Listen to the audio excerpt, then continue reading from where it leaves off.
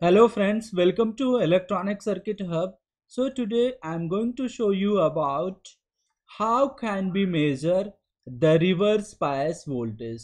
Okay, so this question I got in the co comment section. Okay, and you can see this this question I got in the comment section. So I'll I'll show you how we can measure the reverse voltage reverse bias voltage of diode in LTspice okay? So you can see here this side the requirement is a sine wave with 24 volt peak to peak amplitude is given to a diode and having a series connected resistance of 100 ohm. How we can measure the maximum reverse bias voltage that appears across the diode okay? So you can see here i have connected i have connected here a voltage source sinusoidal voltage source you can see with the amplitude peak amplitude of 12 volt and the frequency is 50 kilo 50 hertz only sorry 50 hertz. So if if i say the peak amplitude is 12 volt that means peak to peak amplitude is 24 volt. That is what we got in our requirement right?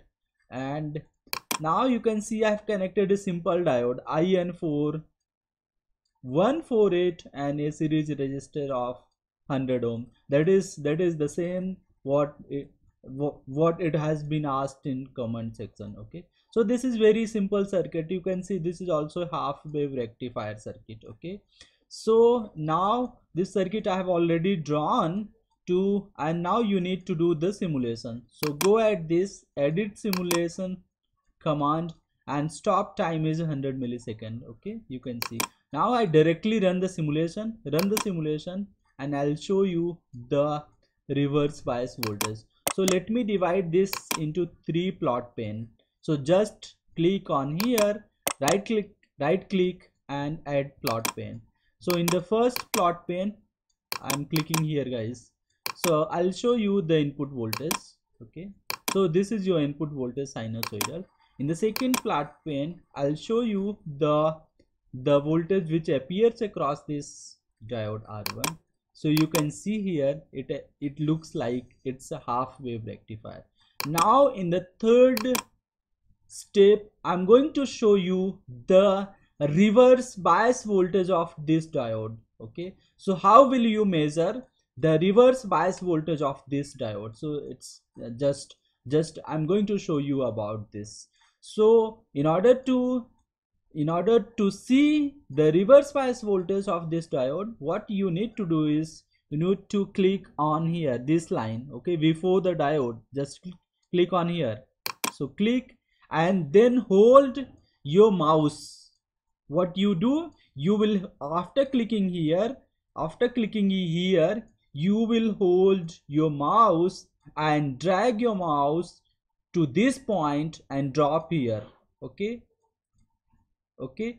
So i did the same. Now you can see the reverse bias voltage which is appearing across this diode. So you can see this is this is the condition when the diode is conducting and when the diode is conducting it's around 0.9 volt 0.85 volt. And you can see this is the this is the portion this is the portion where diode is not conducting okay? This is the portion where diode is not conducting. That means this is the reverse reverse bias voltage which is appearing across your diode. So how will you do this? You just click on this wire hold your mouse hold your left click i would say. Hold don't after clicking this don't leave just click it here hold your mouse and drop it here. You will see your reverse bias voltage okay? So let me show you here the reverse bias voltage. Just click it here hold your mouse and drop here. You can see okay? Just left click it here hold your mouse and drop here you will see the reverse bias voltage. In order to see the current of uh, current in any components you just click on this. Let's i want to see the current flowing through this diode. I will move my cursor in the diode and i will click once. So you can see this is the current. You can see this is the current. Id1 you can see in different in the different color okay? If you want to see voltage at any point you need to just double click on that point okay? So so like this. Now you can see the voltage